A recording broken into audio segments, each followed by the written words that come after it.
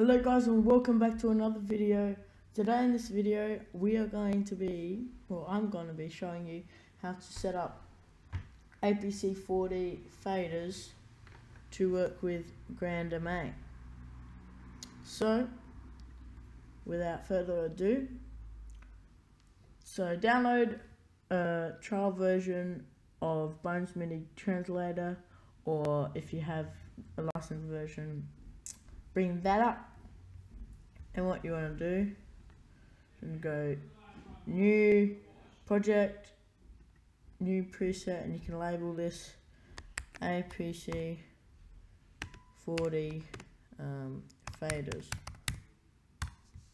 And then you'd want to add nine faders. Oops that's just label them 1 2 3 4 5 6 7 8 9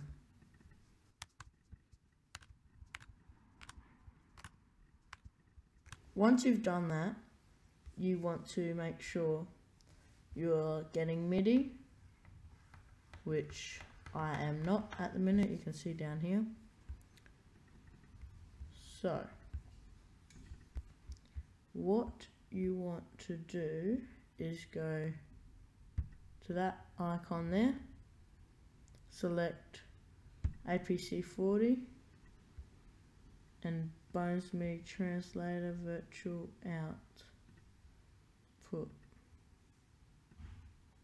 And that one too. So they should be open. Now you can double click on incoming trigger for the first one so you can get this up. Now what you want to do is you want, you want to go to Capture MIDI and bring up the first fader on your APC 40 and there you see some things coming up. Now stop your fader when you see things come up and double click where it says MIDI B075C and double click that. And underneath there you get something here. You'll get that exact same message without MIDI. What you want to do is you want to delete the last two letters or numbers and put a double P in there. And then you want to go down to outgoing go click none MIDI message, capture MIDI, and move that fader again. Double click on it again, go down to the PP, but this time, only for outgoing, you want to change the B to a 9 and enter. And then there you want to do that for the rest. I won't do it because it'll take a long time.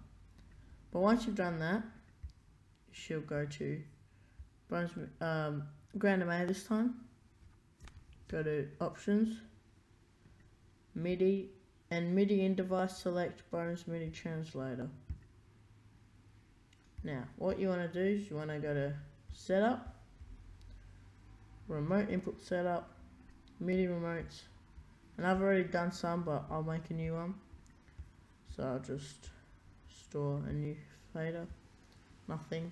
Uh, 11. So you want to get that number, 11, as you should know and you want to add go here to type click on executor that's what it means.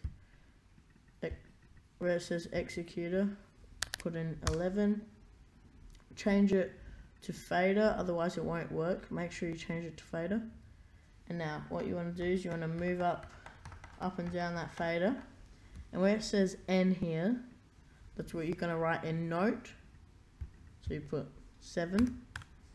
Now the thing is, it doesn't tell you which channel, but as you can see on the APC 40, there is 1, 2, 3, 4, 5, 6, 7, 8, 9, including the master fader.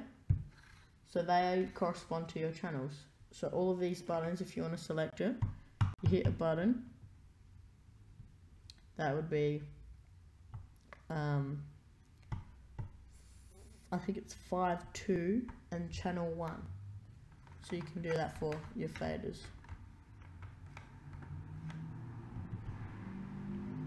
So once you've done note 7, you want to channel 1 and enter. So once you've got that, you can get out of there, go to executor, and you can see that your first fader is controlling sequence. It's controlling my positions as well because it can, but that's how you do that, guys. So I hope you guys have enjoyed this tutorial. Please leave a like, comment, subscribe if you want to see more. And I'll see you in the next one. Goodbye.